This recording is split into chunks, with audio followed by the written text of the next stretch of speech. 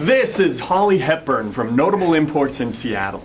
Good to meet you, Miss Hepburn. We're happy to have you visit. Thank you, Mr. Rash. Please, we're not formal around here. Call me Steve. Thank you, Steve. Please call me Holly.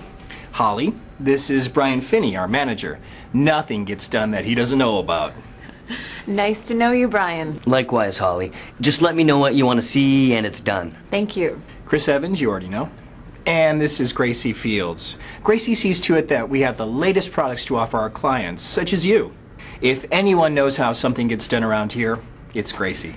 If you have any questions at all, just whistle. I'll be sure to remember. Now, I'm sure you'd like to see how we choose the products we offer. Yes, I would. Brian's best qualified on that count, so why don't I leave you in his capable hands? I have some fires to put out, but I'll catch up with you a little later. Don't let me keep you, Steve. Our guest has carte blanche. As an import export facilitator, we have our finger on the pulse of our clients' industries.